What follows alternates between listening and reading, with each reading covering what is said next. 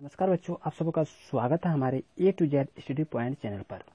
आज हम नए टॉपिक लेकर आए हुए हैं, पेज बत्तीस सुगम, हिंदी। तो उसी के बारे में आज हम चर्चा करेंगे। कहता है कि देख सकते हैं कि नीचे दिए गए वाक्यों को पढ़कर समझिए कि कौन सा वाक्य में कैसा निशान चिन्ह लगेगा और उसका सारणी में उचित कॉलम में लिखना। है आपको जो दिखाई दे रहा है, इसी ये जो सेंटेंस लिखा है, इसमें से पूर्ण विराम दीजिए। या प्रश्नवाचक चिन्ह दीजिए तो पूर्ण विराम किस वाक्य में लगेगा? आपको इस वाक्य में लिखना है। और प्रश्नवाचक चिन्ह, ये वाला चिन्ह कहाँ लगेगा? इस वाक्य में लिखना है। तो हम लिख दिए इसको, आप देखें और अपना वर्क बुक खोलें और इसको राइट डाउन करें। देखते चलिए। इसमें से पूर्ण विराम का चिन्ह बहुत समय पहले की बात है। पूर्ण विराम।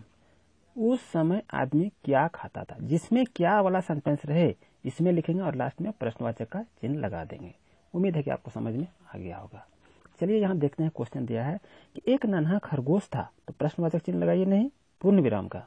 वह अपनी माँ के साथ रहता था पूर्ण विराम तो इसमें पूर्ण विराम लगाइए, इसमें पूर्ण विराम का चिन्ह, यहाँ पूर्ण विराम और यहाँ पर प्रश्नवाचक चिन्ह प्रश्नवाचक चिन्ह, फिर यहाँ पूर्ण विराम यही आपको लिखना है।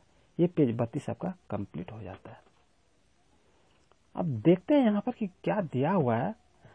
नीचे दिए गए चित्र में क्या क्या दिखाई दे रहा है, उनके नाम लिखिए। आपको क्या क्या दिखाई दे रहा है? कुत्ता दिखाई दे रहा है, बच्चा दिखाई रहा है, औरत दिखाई दे रहा है, कोई पानी डाल रहे हैं तो यही सबको आपको लिखना है क्या क्या दिखाई दे रहा है।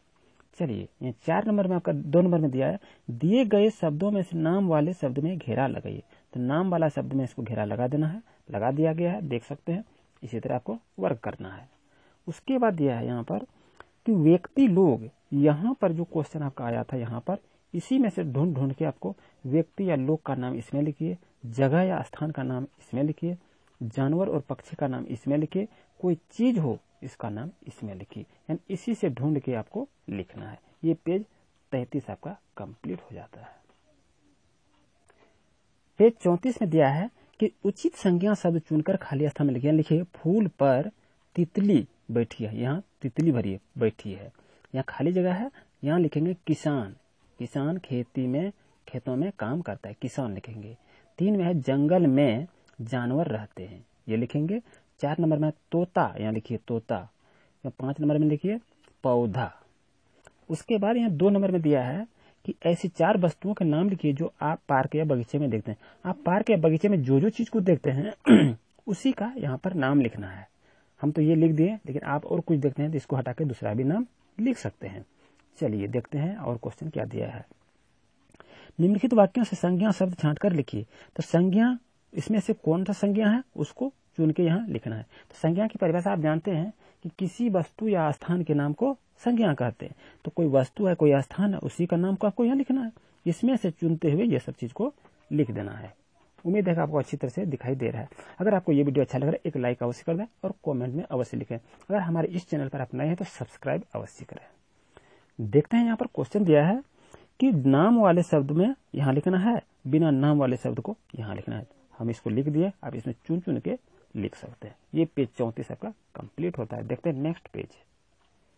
ये क्वेश्चन दिया है कि रिक्त स्थानों की पूर्ति सर्वनाम शब्द से कीजिए। अब सर्वनाम किसे कहते हैं? जो संज्ञा के स्थान पर प्रयोग किए जाने वाले शब्द होते हैं, उसे सर्वनाम कहते हैं। तो यहाँ लिखेंगे, मुझे गाना नहीं आता है। मेरे गाना नहीं आता, ये गलत है। ये मुझे लिखिए यहाँ पर। मुझे खाने के लिए कुछ लिखिए यहाँ पर, कुछ चाहिए। यहाँ लिखिए वहाँ कौन बैठा है? यहाँ लिखेंगे, ये मेरी घड़ी है। दरवाज़ा खोलो, शायद कोई आया। यहाँ पर कोई लिखेंगे। अब देखते हैं नेक्स्ट क्वेश्चन में। यहाँ लिखा है कि मीनाक्षी ने पेंसिल देखकर कहा, भाई, इसे दिखाना है। तो ये लिखिए, पेंसिल के लिए कहा गया है। और इसमें लिखेंगे मनीष के लिए कहा गया है। और सौ नंबर में लिखा है, बिल्ली के लिए कहा बिल्ली ने दूध पिया और वह भाग, वहाँ से भाग गई। तो कौन भाग गया? बिल्ली भाग गई। तो ये शब्द बिल्ली के लिए कहा गया है। उम्मीद है कि आपको अच्छी तरह से समझ में आ रहा होगा।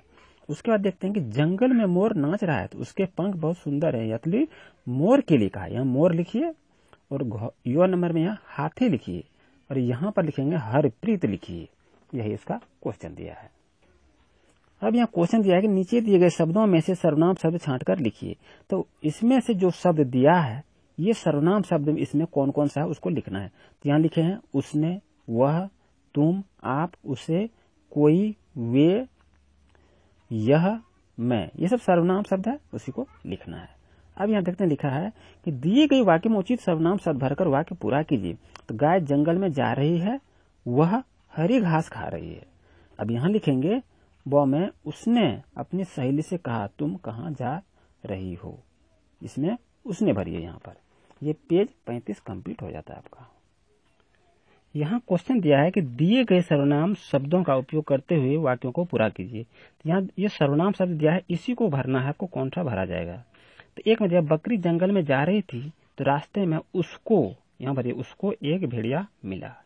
दो में भरिए मोहन ने सोहन से पूछा कि तुमने रोहन को क्या दिया? तीन में भरा जाएगा कमला ने सोहन से कहा, कल वह बाज़ार जाएगा। ये चार नंबर का था, अब पाँच नंबर में आते हैं, क्या दिया है, इसको देखते हैं। कहता है पूर्ण विराम इसको पूर्ण विराम कहते हैं, वो प्रश्नवाचक इसको प्रश्नवाचक चिन्ह कहते हैं कि इसका प्रयोग करते हुए आपको चार वाक्य बनाना है। तो वाक्य बनाए, बकरी जंगल में जा रही थी। तो इसको यहाँ पूर्ण विराम का चिन्ह दीजिए। मैं पढ़ रहा था। ये लिखे पूर्ण विराम दीजिए। तुम क्यों रो रहे हो? प्रश्नवाचक चिन्ह लगा दीजिए। चार में सीता क्या खाती है? प्रश्नवाचक चिन्ह लगा दीजिए। यही चिन्ह को लगाने, लगाकर वाक्य बनाने के लिए बोला जा रहा है। अब देखते हैं क्वेश्चन क्या दिया हुआ है। यह दिया है कि दिए गए अनुच्छेद में उपयुक्त विराम चिन्ह, ये पूर्ण विराम है, ये प्रश्नवाचक है। लगाकर पुनः लिखिए कि मीना वन में घास लेने जा रही थी, इसमें से जो लिखा है इसमें से कहीं चिन्ह का प्रयोग नहीं किया है।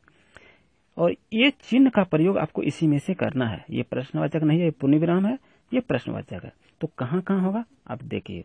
लिखना है, मीना वन में घास लेने जा रही थी प्रश्नवाचक चिन्ह दीजिए। रास्ते में उसे, रास्ते में उसे रीना मिली। प्रश्नवाचक चिन्ह नहीं है? पूर्ण विराम दीजिए। उसने पूछा कि तुम वन में क्यों जा रही हो? उसने पूछा कि तुम वन में क्यों जा रही हो? यहाँ पर आपका प्रश्नवाचक चिन्ह होगा। यहाँ पर आप प्रश्नवाचक चिन्ह लगाएँगे। तुम्हें वहाँ कितना समय लगेगा? प्रश्नवाचक चिन्ह की तो ये आपका टॉपिक ये दिखते ये टॉपिक आपका पूरा हो गया। तो उम्मीद है कि आपको ये वीडियो भली भांति अच्छी तरह से समझ में आ गया होगा। अगर ये वीडियो आपको अच्छा लग रहा है तो लाइक करें शेयर करें सब्सक्राइब करना ना भूलें। अगर आप इस चैनल पर नए हैं तो। अगर आप हमारे से जुड़ चुके हैं पहले तो आपको बहुत बहुत धन्यवाद। चलिए नेक्स्ट टॉपिक देखते हैं, क्या दिया है। यहाँ नेक्स्ट में दिया हुआ है, आप देख रहे हैं कि दी गई कविता को पढ़िए। मियो मियो। ये जो कविता दिया हुआ है, इसको पढ़ना है और कविता में आए संयुक्ताक्षर शब्दों को लिखना है। तो ये जो काला शब्द जो दिया हुआ है, मियो मियो, मक्खन तो इसी शब्द को लिखना है। यानी ये लिखा ये है ये है। जो जो ये शब्द लिखा है, इसी को आपको लिखना है। यहाँ पर जो देख रहे हैं, इसी शब्द को इसमें लिखना है, इसमें से। आप देख के लिख लीजिए इसमें। उसके बाद यहाँ देते हैं, क्या दिया है? कि बिल्ली बोलती है, बिल्ली कैसे बोलती है? तो मियो, ये मियाओ है, यहाँ मियो और ये। उसके बाद दिया है, जी भर खाया। क्या जी भर खाया? मक्खन, यहाँ पर मक्खन लिखिए। मक्खन, जी भर खाया, मक्खन ने माल। ठीक है? तो ऐसे ऐसे चुन चुन के इसको भरिए। भी खराटे भर रही थी। चुन्नू भी खराटे भर रही थी। तो इसमें लिखेंगे दही का मंथन कर मक्खन निकाला जाता है। तो मक्खन को इसमें लिखेंगे। तो इसमें से चुनिएगा आपको कौन सा शब्द चुनना है। उसके बाद आते हैं यहाँ पर। यहाँ दिया है कि वाक्य प्रयोग करना है। परिश्रम, पक्षी इस सबसे मिला के कोई वाक्य बनाइए। परिश्रम का मतलब मैं परिश्रम करता हूँ। पक्षी लिखे पक्षी उड़ गया। शिक्षा शिक्षा, जीवन की ज्योति है। श्रम श्रम का महत्व तो काफ़ी लंबा होता है। पक्का पक्का। इसमें से आपको अपनी भाषा में कोई वाक्य बना लीजिए। ये आपका पेज अड़तीस कंप्लीट होता है? तब तक इसे रिपीट करते रहें, बनाते रहें। अगर कुछ प्रॉब्लम हो तो कमेंट में इसका रिप्लाई अवश्य देंगे। तब तक इजाज़त दीजिए। Thank you for watching my video